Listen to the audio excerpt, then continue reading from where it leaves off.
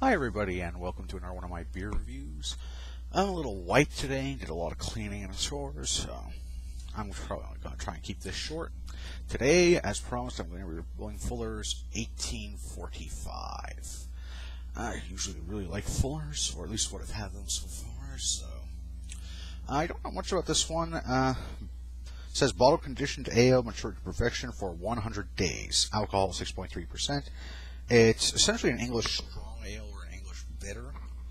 Uh, I've let it warm up a little bit, not much. My understanding is it's supposed to be chilled, but not freezingly cold. So let's see here. Uh, today I'm just going to be using my Bushmills little kind of cocktail slash glass. I don't know what to call it, but uh, good for tastings.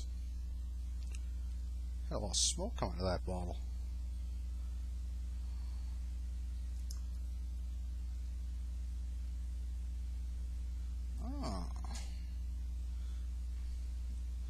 Well, as you can see, there's not much to the head, but that's probably due to the way I poured slash the glass I'm using tonight. Uh, sorry, folks, this is the cleanest glass I have at the moment. Again, very good for tastings, at least. Uh, very, very dark. When I hold it up to the light, I have to say amber, but just when I bring it back down here, it almost looks like a ruby red. Uh, hmm, very pleasant floral smell. I think I get caramel. I'm getting kind of a fruit smell, I think. I can't quite place the fruit. Nothing specific on the fruit at all here. Hmm. Not an unpleasant smell at all. I think I quite like that. Well, here we go, folks.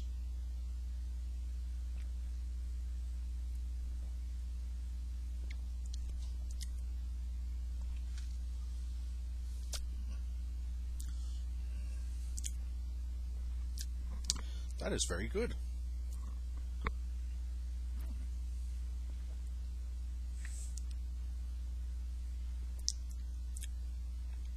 It's very smooth to go down.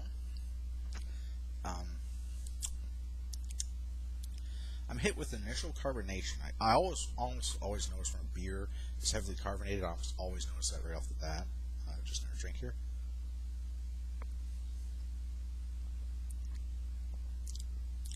There's bitterness, but again, when I smelled the caramel, I think the caramel's coming through here. And if it is caramel, I'm not sure, but if it is, I'm definitely getting that balanced out with the bitterness and then the sweetness.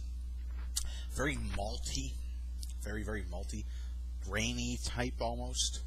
Not quite, but I can definitely detect like a grainy quality to it. So, and then the finish is actually pretty good. A little dry on the finish, which I'm actually a little disappointed by. I really would prefer if it was not so dry. So.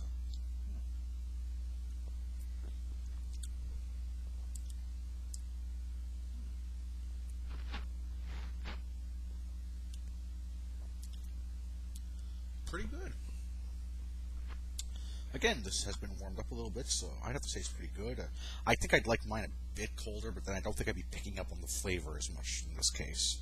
Um, not much else to tell you guys. Fuller's makes a whole bunch of other lines of beers, very good ones. Their London Porter is awesome. So, I never had this one, so it's an English strong ale. I can see why it was award winning. Um, as to a score, guys, it's a little tough. I'm usually not a fan.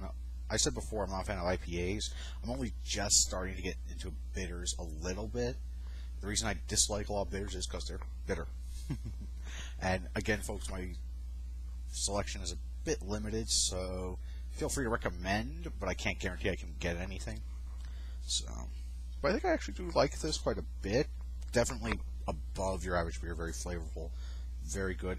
Downsides are, I think, the fact that it has that dry finish, which I dislike, and I think the only other downside really might just be it's probably going to be a bit too bitter for most. I think there's a beautiful balance, but I think it might be a bit too bitter for most people.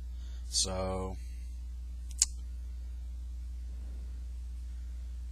I still like this beer. I would pick this up again and drink this again and I think it's definitely an above average beer. So, Fuller's 1845, folks. I am giving this a score of 7 out of 10. Excellent beer. Recommend you pick it up. Cheers, folks.